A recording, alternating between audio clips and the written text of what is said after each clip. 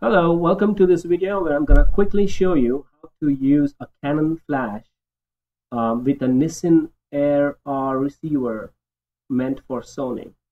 Um, so I have a Sony a6000 with a Nissin Air 1 Commander uh, that is uh, meant for Sony and it's paired to my Nissin Air R receiver over there that is also meant for Sony. Um, so let's um, let me quickly show you how this is kind of uh, this whole setup will work uh, wirelessly. Um, so here I have a ring diffuser that is uh, what I'm using currently um, in tandem with my Canon flash. This is the Nissin Air R receiver as you can see because it's meant for Sony I have to use an adapter for uh, Canon and um, that's uh, this is the adapter right here that is connected to this Canon card. And this Canon card goes all the way to this uh, hot shoe where I'm um, hooking up the flash the Yongnuo flash meant for Canon. Now this flash um, currently is set in uh, manual mode uh, with an exposure value of 1 1 and I can probably change the mode to ETTL um, and back to manual. But let's just keep it at manual and let's see um, there is this card that goes all the way to uh, the actual macro ring light, um, uh, which is a speed light that's inside this diffuser. So I'm currently using this setup because I had a Canon macro ring light, uh, but I just want to show you how I can use this um, with uh, with a Nissin Air R uh, receiver meant for Sony and trigger the flash wirelessly. So let me explain a little bit what's going on here. So originally, I was trying to use um, my Canon Speedlight, the Ring Speedlight, with my Nissin Air R receiver made for Canon, because then the hot shoe, uh, the actual hot shoes match for the Speedlight and the Air R receiver. And then I was using this system with my Nissin Air 1 Commander, as shown in the uh, on the left side of the picture for made for Sony. Um, the problem here was that the Nissin Air 1 Commander made for Sony is not compatible with the Nissin Air R receiver made for Canon.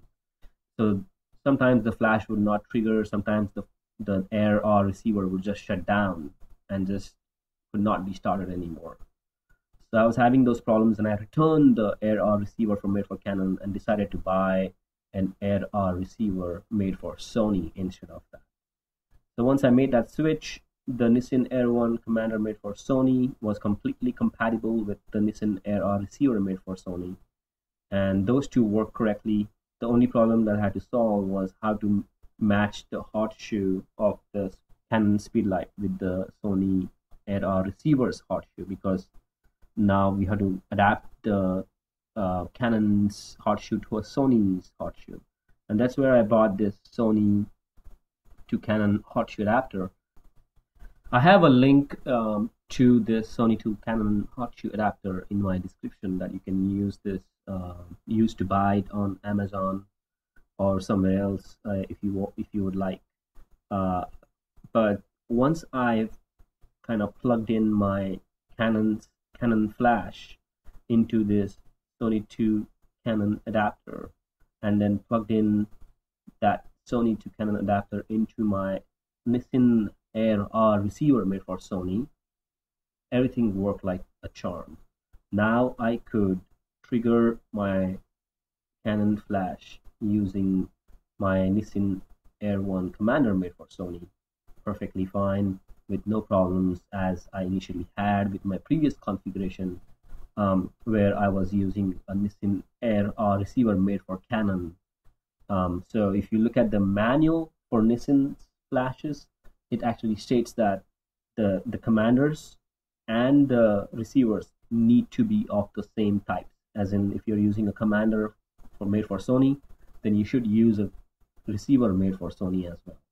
If not, then there could be problems. So um, that's another thing I made a change, and uh, I think everything works like a charm now. Um, of course, I don't get um, TTL or uh, uh, high speed synchronization because my Canon flash is a manual flash. Or I could switch it to TTL and it will still work uh, in TTL mode, but it's not, I cannot control the settings using my Air One commander. Um, so uh, if I set the Canon flash to manual mode and if I set my um, Air One commander to TTL mode, the flash will still behave as if it is in manual mode, and vice versa. So um, that is one point that you will have to remember. Uh, but that's fine with me, uh, as long as my flash works wirelessly. I can trigger it wirelessly. I'm happy, and I can probably change that behavior. Um, but uh, hopefully, this is um, uh, this makes it clear how to use this um, this uh, a Canon flash using an Air One commander for Sony. Okay, so um, first of all, um, this Air commander is in manual mode, and um, high speed sync is disabled. And that's why this LED is not blinking twice. Um, so I want to show you the, the shutter speed is also 160 of a second, and um, you can you can't go any further than that because it's disabled. So um, also the flash mode it has to be set in into wireless to be to use this Nissin Air Commander. Um, and uh, let's try taking a sample picture and let's see if it triggers the flash wirelessly. All right, so there was a flash. Um, now this flash was uh, taken at uh, because the the Canon flash is uh, set to manual mode. It doesn't matter what mode I set the Air One Commander to. But let me try setting to TTL mode and let's see if it still works.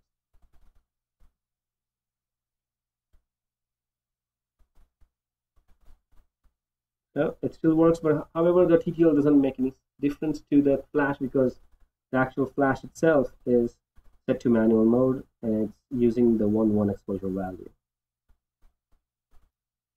So let me try showing you the high-speed sync and um, to enable the high-speed sync you need to kind of hold this highlight button for a couple of seconds. Let's try and let's see if it works. Uh, the shutter speed is still 160. It didn't work. Let me try again. Um, let me keep holding it for a few seconds. Um, actually, let's see if it worked. Nope, I'm not doing it right. So let me keep holding it for, let me count like five or six seconds and see what happens. Um, now it's blinking. As you can see, the LED is blinking twice. There you go. And now the shutter speed is uh, can be increased all the way to one four thousandth of a second. So let me set it to one four thousandth of a second and let's take a picture with the flash if it triggers. Flash still works. Again, um, we are not really using high speed sync of the flash itself. Um, we are really um, just making sure that the high speed sync works between the air commander and the air receiver. Hope this video is useful. Let me know if you have any comments or concerns or questions, and I can probably answer.